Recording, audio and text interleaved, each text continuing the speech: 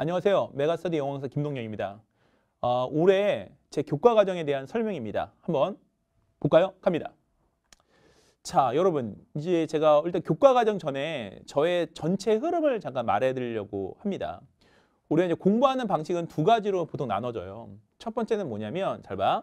참을성과 노력이 중요한 시기가 있습니다. 이 시기가 있고 또 어느 경우는 흥미와 호기심이 있는 경우가 있어요. 자기가 영어는 몇 등급? 4등급 이하의 학생들은요. 참을성과 노력이 되게 중요합니다. 그래서 4등급 이하의 학생들은 좀 부탁드릴 게 뭐냐면 분량 단위 학습법을 하시면 안 돼요. 시간 단위 학습법을 하셔야 돼요. 가령 나는 요거를 하면 끝내고 놀 거야 이게 아니라 무조건 4시간, 5시간 앉아있는 연습을 하셔야 됩니다. 그래서 뭐냐면 참을성과 노력이 되게 중요해요. 그래서 얘는 시간이 많이 듭니다.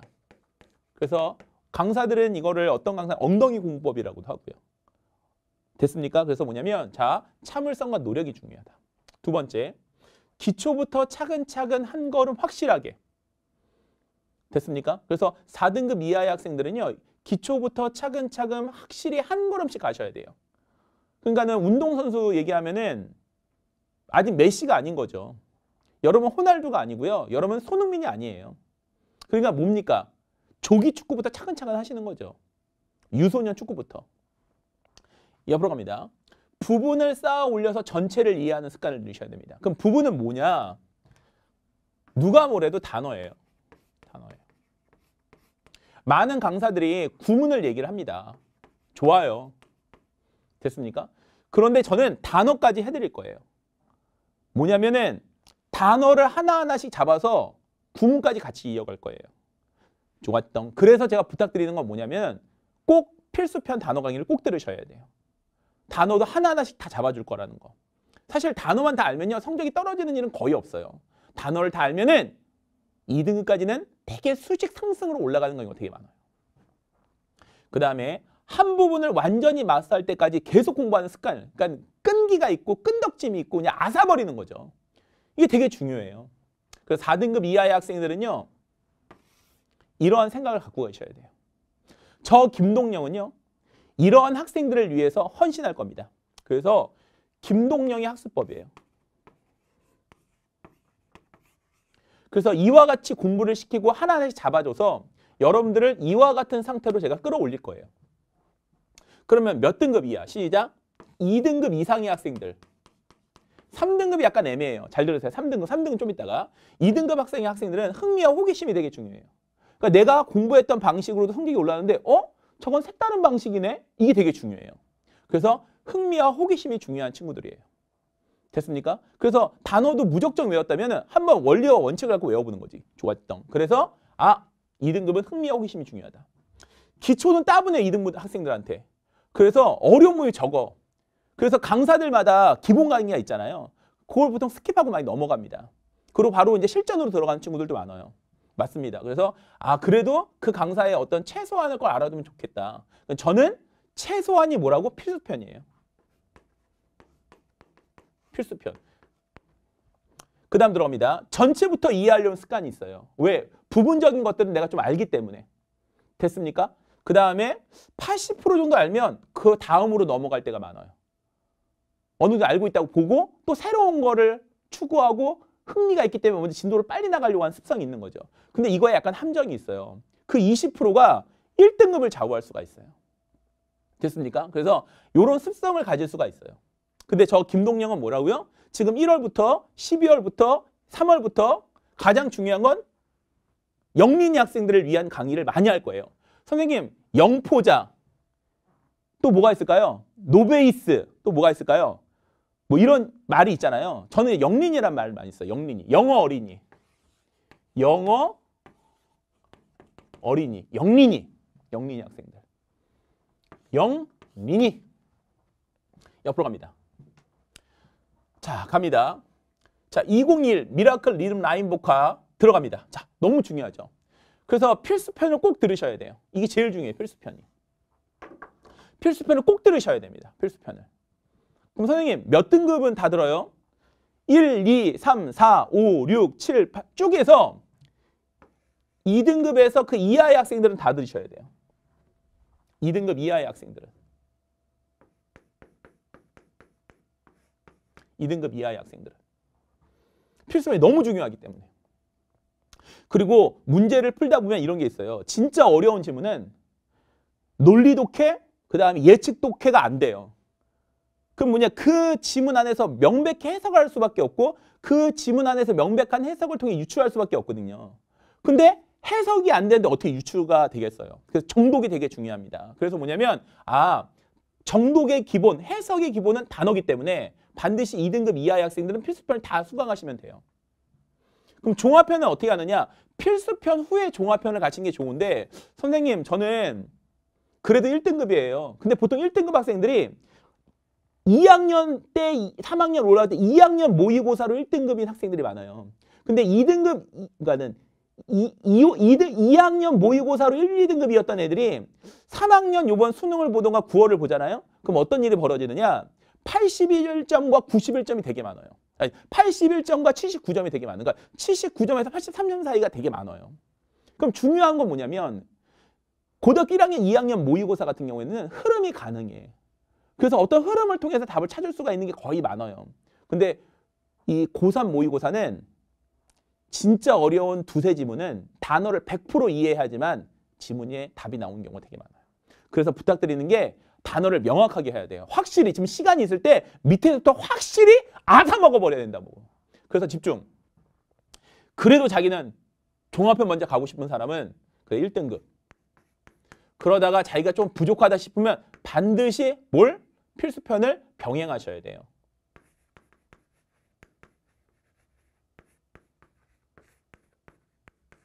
필수편을 병행해 주세요. 그럼 가령 이런 거죠. 자기가 겨울방학 때 난 필수 종합을 다 끼고 끝내고 싶다. 2등급 이하다. 그럼 필수편을 어떻게 듣습니까? 월, 화, 수, 목, 금 이렇게 듣고 종합편은 토일 들으세요. 근데 자기가 1등급이야. 부동 1등급이야. 그럼 뭐 종합편은 뭐야? 월, 화, 수, 목, 금. 그 다음 필수편을 토, 일 이렇게 좀. 그러게 상관없죠. 확인해 보시고. 그래서 이 과정이 두 개 다 끝났어. 그 다음에 이제 보면 EBS 보가 1800이라는 책이 나와요. 그 책에서 선생님이 동사만 따로 모아서 형용사만 따로 모아서 진도를 나갑니다. 그래서 이 강좌를 들은 친구는 되게 쉽게 올라갈 수가 있어요. 되게 빠르고 신속하게.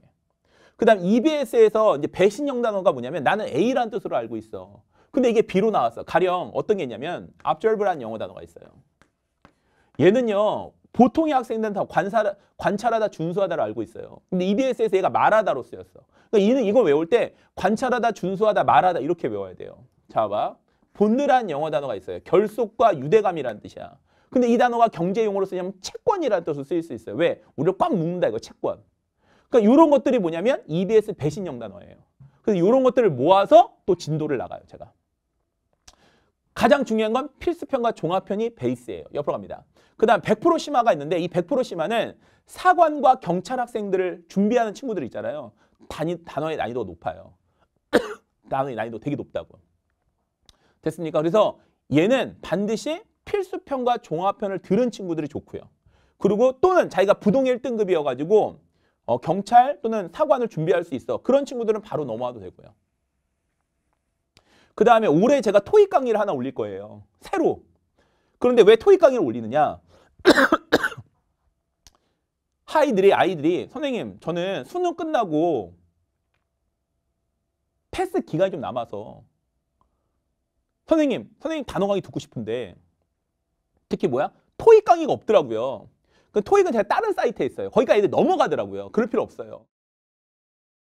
그래서 제가 부탁드리는 건 뭐냐면 이 강좌 만들어 드릴게요. 그래서 딱 수능 끝나고 신청해서 들으세요. 수능일 때는 필수편 종합편.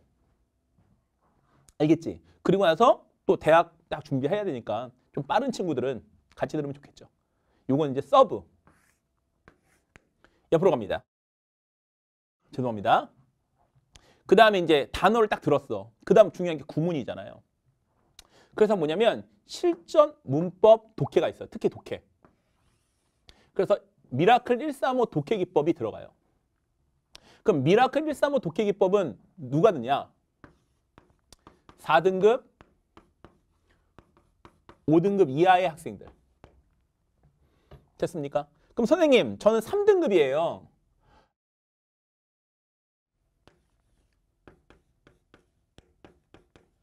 삼등급 학생들은 이거 이제 OT 들어오면 알겠지만 어 자기가 선생님 좀 선생님 강의가 내가 원했던 강의예요.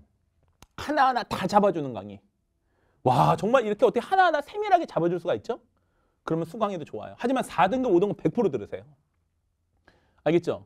우리가 이 3등급 학생들 좀 애매한 등급이거든요. 3, 3등급 애들이. 열심히 공부하면 좀 2등급으로 확 올라가기도 하지만 또 떨어지면 4, 5등급으로 확실히 떨어지는 애들이에요. 근데 막 4, 5등급은 확실한 4, 5등급이야. 이 절대평가에서 4, 5등급은요. 영린이라고 보셔야 돼요. 영린이. 무슨 말인지 알겠지? 그래서 4, 5등급 학생들은 무조건 miracle 135 독해기법을 수강하시면 돼요. 되었습니까? 그래서 제 강좌 중에서 아들, 딸 같은 강좌가 있다면 아들이 뭐야? 필수편이라면 딸은 135 독해기법이고 딸이 만약 아들이 135 독해 기법이면 딸은 필수편이에요. 그만큼 강좌. 저를 메가에 오래 강의하게끔 내가 강사로 존경받을 수 있게끔 만든 두 가지 강좌가 있다면 필수편과 종합편 그리고 플러스 135 독해 기법이에요. 꼭 들으시면 엄청 좋아요. 100% 필수편만큼 좋은 강좌예요. 그리고 이 독해 기법은 제가 또 단어 내가 몇 천 개를 암기시키는 6,700개를 암기, 암기시키는 것처럼 독해 기법도 다 제가 암기시켜요. 근데 지금은 135라고 했지만 사실 이제 80개의 독해기법이에요. 135개가 아니라. 80개의 독해기법으로 다가갑니다. 갑니다. 그 다음에 실전 문법 6시간 문법 마침표란 강의가 또 있고요. 그 다음 실전 독해. 자, 실전 독해는 자, 자 구문이 끝- 끝났어. 구문. 그 다음 이제 아 그죠 독해를 해야 되죠. 근데 이제 보시면 팔지문 구조 독해라는 게 있어요. 지문의 흐름을 잡아주는 거야. 흐름. 자 유형별 독해라는 게 있어요. 각 유형달 유형당 다섯 지문씩 해요. 다섯 문제씩. 됐습니까? 음 좋았던. 그 다음에 이제 봐봐. 선생님 강좌 중에서 이제 추가가 된 강좌가 두 강좌예요. 뭐냐면 EBS 전지문 고난도 구문 분석. 이게 뭐냐면 EBS에 보면은 각 지문이 있어요. 근데 그 지문에서 고난도 구문을 다 빼오는 거야. 고난도 구문을. 그래서 제가 한 지문에 무조건 하나는 100% 합니다. 다시 한번 뭐라고 했는데 시작. 한 지문에 하나는 100%할 거예요. 한 지문에 하나. 되었습니까? 어, 좋았어. 그리고 지문 전체가 어려운 거 있죠. 지문 전체가 어려운 거. 그런 것들은 제가 이번 그래서 이 EBS 전지문 고난도 구문 분석의 책이 뭔지 아세요? 메가스터디 분석 노트예요. 이 교재가. 됐습니까? 제가 다시 한번 EBS 전지문 고난도 구문 분석이 뭐라고 시작? EBS 분석 노트라고. 메가스터디에서 나온 EBS 분석 노트를 제가 강의를 한다고. 되었습니까? 그래서 제가 요거 확실하게 잘해드릴 거예요. 구문 분석부터 뭐야? 지문. 근데 이제 보면 그게 이제 책이 워낙 잘 나와 있으니까 거기에서 조금 더 책에서 부족한 부분들. 물론 완벽한 책이에요. 근데 조금 더 부족한 내 강의로 뭔가 나타냈을 때 좀 더 도움이 되는 부분들을 해줄 거예요. 그래서 아 EBS 메가스터디 구문 분석 책을 로 강의를 하는구나 이렇게. 그 다음에 5번. EBS 전 지문 키워드 암기를 할 거예요. 뭐냐면 전 지문마다 아주 중요한 키워드 단어가 있어요. 그 단어를 다 뽑아서 강의를 할 거예요. 그러면은 이런 키워드가 기억이 나면 좋은 게 뭐죠? 아, 지문 자체가 약간 어때 생각이 날 수 있죠. 그래서 우리가 똑같은 지문이 여섯 지문 정도 나온단 말이야. 그래서 도움이 되는 부분이 되게 커요. 근데 키워드를 딱 잡아 잡을 거야. 그 지문 안에서 핵심 키워드 딱딱. 그걸 또 암기시키고 이해시키고. 됐습니까? 그래서 아, 요 두 파트가 선생님이 새로 추가되는 부분이거든. 근데 이 두 가지 파트의 중요한 게 뭐냐면 잘 봐. EBS 전지문 고난도 구문 분석은 포인트가 얘예요. 얘로 가는 거야. 뭐냐면 135 독해기법. 135 독해기법이 기본이 돼서 얘를 가는 거예요. 그러니까 135 독해기법 100% 들으셔야 돼요. 그 다음에 봐봐. EBS 전지문 키워드 암기, 키워드 암기 단어 암기잖아요, 결국에는. 그러니까 뭘 갖고 나가? 하나, 둘, 셋. 필수편에서 끼워오는 거예요. 필수편에서. 그럼 여러분들은 반드시 두 강자 필수편과 135 독해기법을 확실히 잡아주세요. 제가 자신 있게 얘기합니다. 단어를 100% 외우잖아요? 그러면 1, 2등급이 나와요. 단어를 외우지 않잖아요? 다시 돌아와요.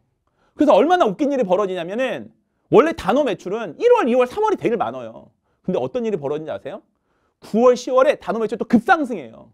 왜 그럴 것 같아? 어떤 감언과 이설에 속은 거예요. 그러다가 야 단어라도 외우고 시험 보자. 야 단어? 맞아. 제 단어 외우는 성적 올랐어. 그래서 8월, 9월, 10월에 단어 매출 또 상승해요. 여러분 그러지 마시고 부탁드리는데 지금 겨울방학 때 지금 제 강의에 처음 OT를 들었을 때 필수편하고 135 독해기법 꼭 들어주셔야 돼요. 아시겠죠? 자 집중. 자 갑니다. 총정리 들어갑니다. 좋았던 옆으로 갑니다. 자 선생님 어떤 강의 많이 할 거다? 시작. 영린이를 위한 강의 많이 할 거다. 4등급 이하의 영린이를 위한 강의를 많이 할 거다. 영린이의 포인트는 뭐다? 진짜 참을성과 노력이 중요하다. 됐으면 시간 단위 공부법 해라. 선생님도 그렇끔 너희를 강의하는데 노력 정말 많이 할 거다. 기초부터 차근차근, 단어도 기초부터 차근차근, 구문도 기초부터 차근차근, 독해도 기초부터 차근차근 나갈 거다. 영린이를 위해서. 옆으로 갑니다. 부분을 쌓아 올려서 전체를 이해하는 강좌를 만들 거다. 그럼 부분은 뭐냐? 단어 암기다. 거의 다 단어 암기는 각자의 방식에 두라고 하는데 내가 그것까지 하나하나씩 다 해줄 거라는 거. 옆으로 갑니다. 부분을 이해해서 크게 마스터할 때까지 공부해라. 선생님 뭐다? 내가 그렇게 해줄 거다. 그래서 어, 올해는 메가스터디, 영린이, 4, 5등급 학생들을 위한 비밀병기 김동영이 될 것입니다. 알겠죠? 좋아요. 옆으로 갑니다. 자, miracle rhythm rhyme voca 집중. 제일 중요한 게 뭐야? 필수편이다. 필수편을 통해서 모든 게 확장된다. 알겠죠? 독해는 뭐다? 135 독해 기법을 통해 다 확장된다. 그 두 강좌 꼭 기억해라. 아시겠습니까? 자, 집중. 선생님 EBS 강의 메가스터디의 최고의 베스트셀러 EBS 분석 노트로 강의한다는 거 알겠죠? 좋습니다. 여러분 강의에서 뵙겠습니다.